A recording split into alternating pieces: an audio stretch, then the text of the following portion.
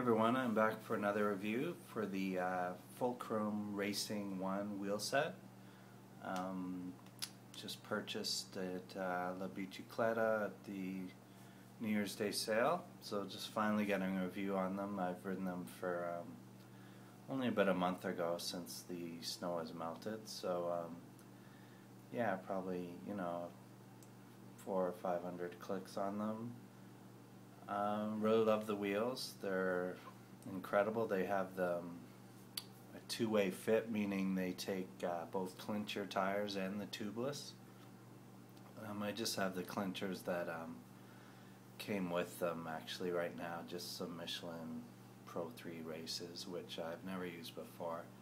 But um, they threw them in on the, the deal, so uh, you know, just gonna try them out, and so far so good. Um, but the wheels, uh, just incredible. Really light, a lot lighter than what I was using. Um, I just had, um, you know, some Shimano R10s that came with the bike. So the wheels are obviously, it's no secret, are the best upgrade you can make.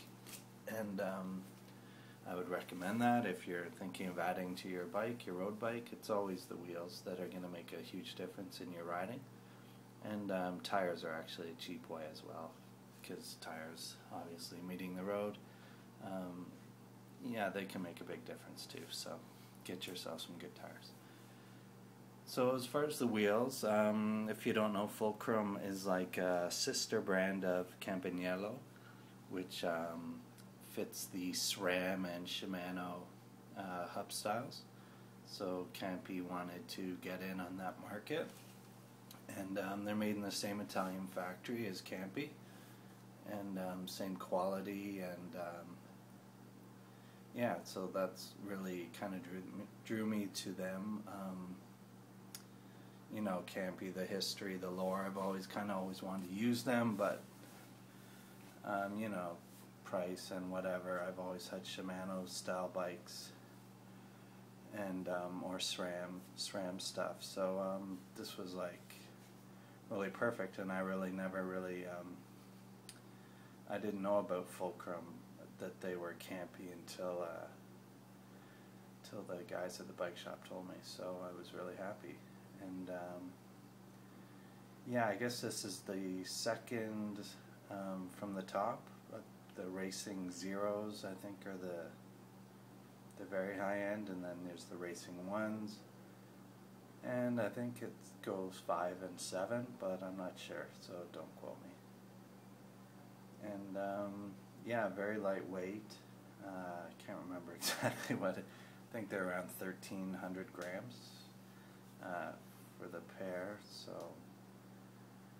not um not the very lightest I guess like you know carbons or Zipps or anything but for the you know aluminum clinchers are they're very light you can see the spokes are, um, you know, the flat style, which kind of looks really cool, and the, the groupings, the sort of the pairs of three on the back, and then the front rim, which I will show you in a bit, um, is um, the more standard, I guess, spoke pattern. But um, so as far as looks, they you know look really good, and then riding um, on just the hills, it's just such a major difference. It just climbs through hills, not up them, right? So the hills is basically in descending where you're going to notice the quality of high-end rims. Um, you know, on the websites, people are going to talk about lateral stiffness and stuff like that. I'm really no pro, so I'm I'm not going to BS you. I I really don't know what to look for for that sort of thing. So I'm just an amateur opinion that they climb hills better. Now, if that means they're laterally stiff or whatever, I don't know. So, um, yeah, and descending, just the speeds, because, um, you know, most guys or girls have uh, speedometers and stuff. I have a, a cyclometer app on my iPhone that I use to track speeds.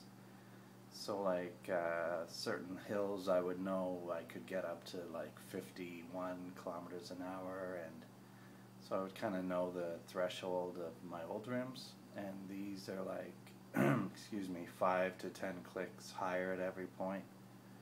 Um, yeah, so they really descend well and they really roll fast, uh, as you would say.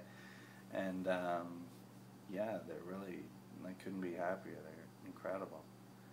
Um, so yeah, um, I'm just gonna grab the camera and sort of show you a little closer. So I'm sorry it's gonna jerk around a bit, and I will show you the front rim as you've just been staring at a standard picture here. So there's, you know, close up. I don't know if see the spokes here.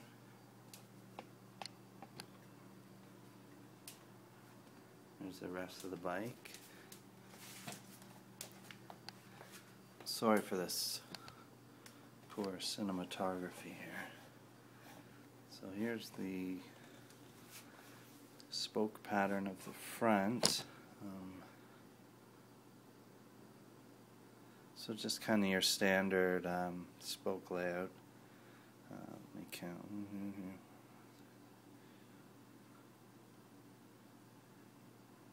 Guess 16 or 18 spokes? I don't know. You can count. So yeah, and also I should point out, you can see kind of the hubs here. So not only are they um, two-way compatible for like tubeless tires if you want to use those, but you can see the, the bolt there. Um, they're easily serviceable to add ceramic bearings if you want those. So, um, you know, those are pricey, but if it's, you know, something you want, they're, um, you know, they people say it's like riding with a tailwind.